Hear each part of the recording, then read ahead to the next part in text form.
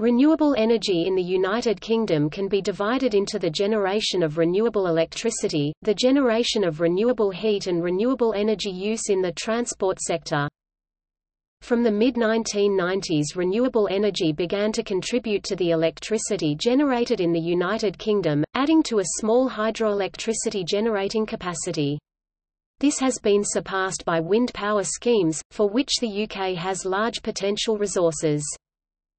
Interest in renewable energy in the UK has increased in recent years due to new UK and EU targets for reductions in carbon emissions and the promotion of renewable electricity power generation through commercial incentives such as the Renewable Obligation Certificate Scheme and feed-in tariffs and the promotion of renewable heat through the Renewable Heat Incentive. Under the 2009 EU Renewable Directive the UK's has a 15% target for reduction in total energy consumption consumption by 2020. In 2017 renewable production generated 27.9% of total electricity 7.7% of total heat energy 4.6% of total transport energy Topic: History Renewable heat energy, in the form of biofuels, dates back to 415,000 BP in the UK. Uranium series dating and thermoluminescence dating give evidence to the use of wood fires at the site of Beeches Pit, Suffolk. Waterwheel technology was imported to the country by the Romans, with sites in Ickenham and Willowford in England being from the 2nd century AD. At the time of the compilation of the Domesday Book 1086, there were 5,624 watermills in England alone, only 2% of which have not been located by modern archaeological surveys. Later research estimates a less conservative number of 6,082, and it has been pointed out that this should be considered a minimum as the northern reaches of England were never properly recorded. In 1300, this number had risen to between 10,000 and 15,000. Windmills first appeared in Europe during the Middle Ages. The earliest certain reference to a windmill in Europe assumed to have been of the vertical type dates from 1185, in the former village of Weedley in Yorkshire which was located at the southern tip of the wold overlooking the Humber estuary. The first electricity-generating wind turbine was a battery charging machine installed in July 1887 by Scottish academic James Blyth to light his holiday home in Marykirk, Scotland. In 1878 the world's first hydroelectric power scheme was developed at Cragside in Northumberland, England by William George Armstrong. It was used to power a single arc lamp in his art gallery, however, almost all electricity generation thereafter was based on burning coal. In 1964 coal accounted for 88% of electricity generation, and oil was 11%. The remainder was mostly supplied by hydroelectric power, which continued to grow its share of electricity generation as coal struggled to meet demand. The world's third pumped storage hydroelectric power station, the Cruachan Dam in Argyll and Bute, Scotland, became fully operational in 1967. The Central Electricity Generating Board attempted to experiment with wind energy on the Llyn Peninsula in Wales during the 1950s, but this was shelved after local opposition. Renewable energy experienced a turning point in the 1970s with the 1973 oil crisis, miners' strike 1972, growing environmentalism and wind energy development in the United States exerting pressure on the government. In 1974, the Central Policy Review staff made the recommendation that the first stage of a full technical and economic appraisal of harnessing wave power for electricity generation should be put in hand at once. Wave power was seen to be the future of the nation's energy policy, and solar, wind, and tidal schemes were dismissed as impractical. Nevertheless, an alternative energy research center was opened in Harwell, although it was criticized for favoring nuclear power. By 1978, four-wave energy generator prototypes had been designed which were later deemed too expensive. The wave energy program closed in the same year. During this period, there was a large increase in installations of solar thermal collectors to provide hot water. In 1986, Southampton began pumping heat from the geothermal borehole through a district heating network.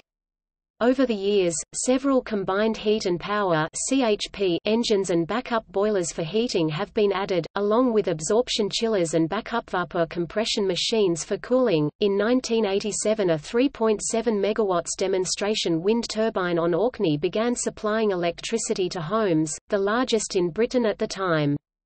Privatisation of the energy sector in 1989 caused direct governmental research funding to cease. Two years later the UK's first onshore wind farm was opened in Delabole, Cornwall. The farm consists of 10 turbines and produces enough energy for 2,700 homes. This was followed by the UK's first offshore wind farm in North Hoyle, Wales. The share of renewables in the country's electricity generation has risen from below 2% in 1990 to 14.9% in 2013, helped by subsidy and falling costs. Introduced on 1 April 2002, the renewables obligation requires all electricity suppliers who supply electricity to end consumers to supply a set portion of their electricity from eligible renewables sources, a proportion that will increase each year until 2015 from a 3% requirement in 2002-2003, via 10.4% in 2010 to 2012 up to 15.4% by 2015-2016. The UK government announced in the 2006 Energy Review an additional target of 20% by 2020-21.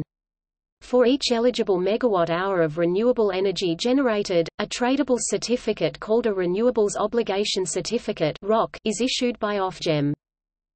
In 2007, the United Kingdom government agreed to an overall European Union target of generating 20% of the European Union's energy supply from renewable sources by 2020. Each European Union member state was given its own allocated target, for the United Kingdom it is 15%. This was formalised in January 2009 with the passage of the EU Renewables Directive. As renewable heat and fuel production in the United Kingdom are at extremely low bases, RenewableUK estimates that this will require 35 to 40% of the United Kingdom's electricity to be generated from renewable sources by that date, to be met largely by 33 to 35 gigawatts of installed wind capacity. The 2008 Climate Change Act consists of a commitment to reducing net greenhouse gas emissions by 80% by 2050 on 1990 levels and an intermediate target reduction of 26% by 2020. The Green Deal is UK government policy, launched by the Department of Energy and Climate Change on 1 October 2012. It permits loans for energy-saving measures for properties in Great Britain to enable consumers to benefit from energy-efficient improvements to their home.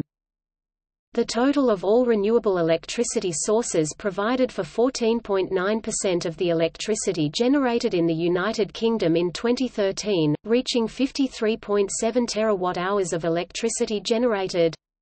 In the second quarter of 2015, renewable electricity generation exceeded 25% and coal generation for the first time. Renewable energy contributions to meeting the UK's 15% target reduction in total energy consumption by 2020, in accordance with the 2009 EU Renewable Directive, totaled 5.2% in 2013 as measured in accordance with the methodology set out in the directive. By 2016 provisional calculations show that the figure had risen again to 8.3% of energy consumption all sources coming from renewable sources in 2015. In June 2017 renewables plus nuclear generated more UK power than gas and coal together for the first time. Britain has the fourth greenest power generation in Europe and the seventh worldwide. In 2017 new offshore wind power became cheaper than new nuclear power for the first time. The UK is still heavily dependent on gas and vulnerable to fluctuations in world gas prices.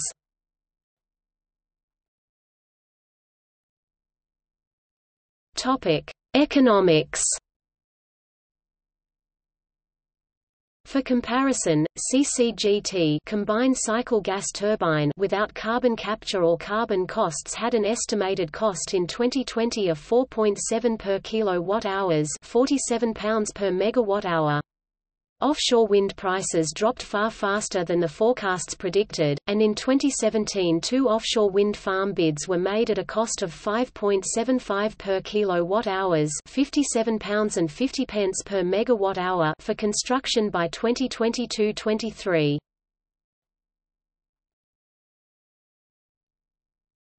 Topic: Strike prices. The strike price forms the basis of the contract for difference between the generator and the Low Carbon Contracts Company LCCC, a government-owned company and guarantees the price per megawatt-hour paid to the electricity producer. It is not the same as the levelized cost of electricity LCOE, which is a first-order estimate of the average cost the producer must receive to break even. Low-carbon generation sources have agreed strike prices in the range £50 to £79 and 23 pence per megawatt-hour for photovoltaic, £80 per megawatt-hour for energy from waste, £79 and 23 pence to £82 and 5 pence per megawatt-hour for onshore wind, and £114 and 39 pence to £119 and 89 pence per megawatt-hour for offshore wind and conversion technologies all expressed in 2012 prices. These prices are indexed to inflation, with new interconnectors, specifically the ongoing construction of the NSN link is expected to finish in 2020 after which the UK will get 1.4 gigawatts of access to less expensive sources in the South Norway bidding area NO2 of Nord Pool Spot. Similarly, Viking Link is expected to start operations in 2022, after which the UK will get another 1.4 gigawatts of access to the less expensive West Denmark bidding area DK1 of Nord Pool Spot.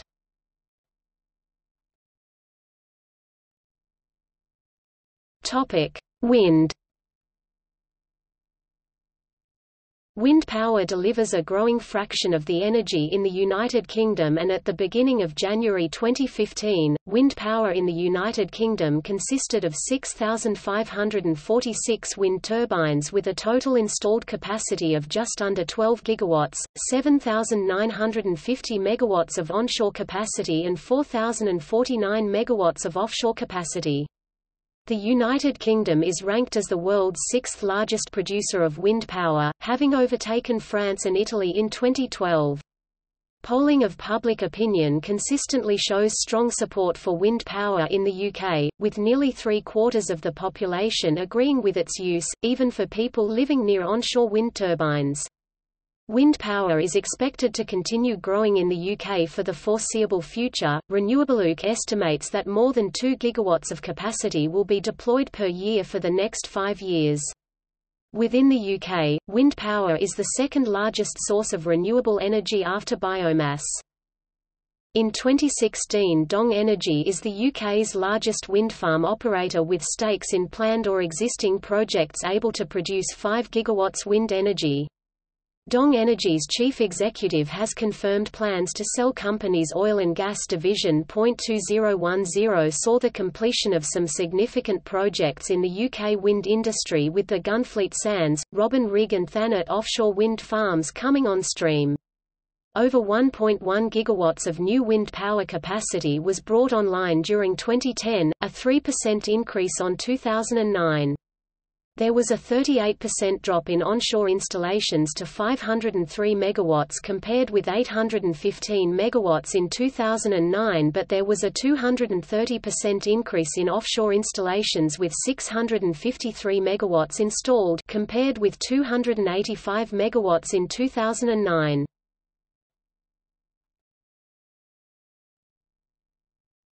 Topic: Ocean power Due to the island location of the UK, the country has great potential for generating electricity from wave power and tidal power. To date, wave and tidal power have received very little money for development and consequently have not yet been exploited on a significant commercial basis due to doubts over their economic viability in the UK. The European Marine Energy Centre in Orkney operates a grid-connected wave power scheme at Billia Croo outside Stromness and a grid-connected tidal test site in a narrow channel between the Westray Firth and Stronsay Firth. Funding for the UK's first wave farm was announced by then Scottish Executive in February 2007. It will be the world's largest, with a capacity of 3 MW generated by four Pelamis machines and a cost of over £4 million. In the south of Scotland, investigations have taken place into a tidal power scheme involving the construction of a Solway barrage, possibly located south of Annan. A wave farm project to harness wave power, using the PB150 PowerBuoy has been completed by Ocean Power Technologies in Scotland and is under development off Cornwall at Wave Hub.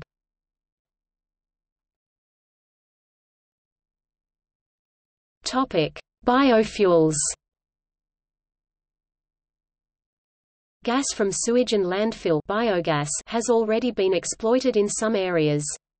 In 2004 it provided 129.3 gigawatt-hours up 690% from 1990 levels, and was the UK's leading renewable energy source, representing 39.4% of all renewable energy produced including hydro. The UK has committed to a target of 10.3% of renewable energy in transport to comply with the Renewable Energy Directive of the European Union but has not yet implemented legislation to meet this target. Other biofuels can provide a close to carbon-neutral energy source, if locally grown. In South America and Asia, the production of biofuels for export has in some cases resulted in significant ecological damage, including the clearing of rainforest. In 2004 biofuels provided 105.9 gigawatt-hours, 38% of it wood. This represented an increase of 500% from 1990.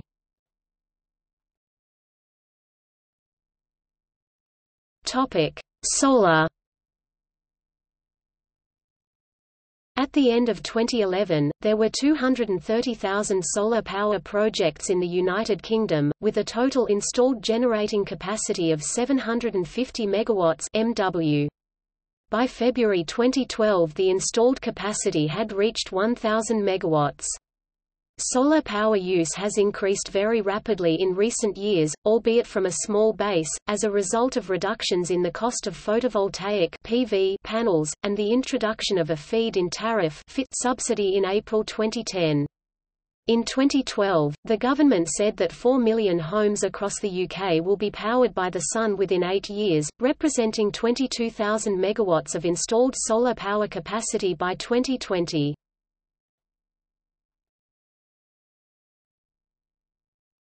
Topic: Hydroelectric. As of 2012, hydroelectric power stations in the United Kingdom accounted for 1.67 gigawatts of installed electrical generating capacity, being 1.9% of the UK's total generating capacity and 14% of UK's renewable energy generating capacity. Annual electricity production from such schemes is approximately 5,700 gigawatt-hours, being about 1.5% of the UK's total electricity production. There are also pumped storage power stations in the UK. These power stations are net consumers of electrical energy however they contribute to balancing the grid, which can facilitate renewable generation elsewhere, for example by soaking up surplus renewable output at off-peak times and release the energy when it is required.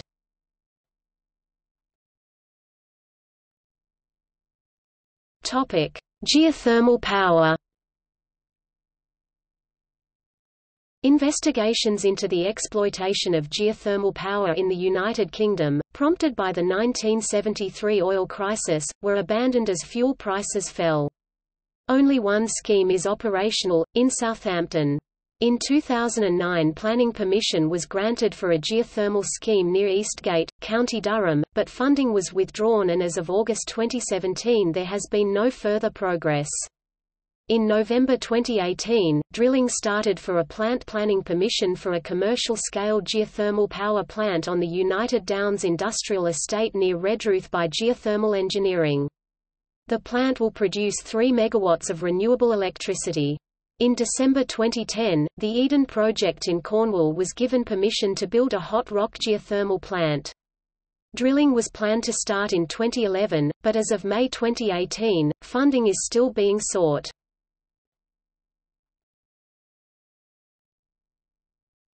Topic: Microgeneration. Microgeneration technologies are seen as having considerable potential by the government. However, the microgeneration strategy launched in March 2006 was seen as a disappointment by many commentators. Microgeneration involves the local production of electricity by homes and businesses from low-energy sources including small-scale wind turbines, and solar electricity installations. The Climate Change and Sustainable Energy Act 2006 is expected to boost the number of microgeneration installations, however, funding for grants under the Low Carbon Building Program is proving insufficient to meet demand with funds for March 2007 being spent in 75 minutes.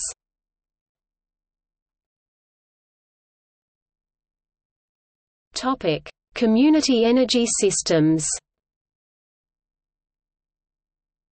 Sustainable community energy systems, pioneered by Woking Borough Council, provide an integrated approach to using cogeneration, renewables and other technologies to provide sustainable energy supplies to an urban community. It is expected that the same approach will be developed in other towns and cities, including London. Highlands and Islands Community Energy Company based in Inverness are active in developing community-owned and led initiatives in Scotland. An energy-positive house was built in Wales for £125,000 in July 2015. It is expected to generate £175 in electricity export for each £100 spent on electricity.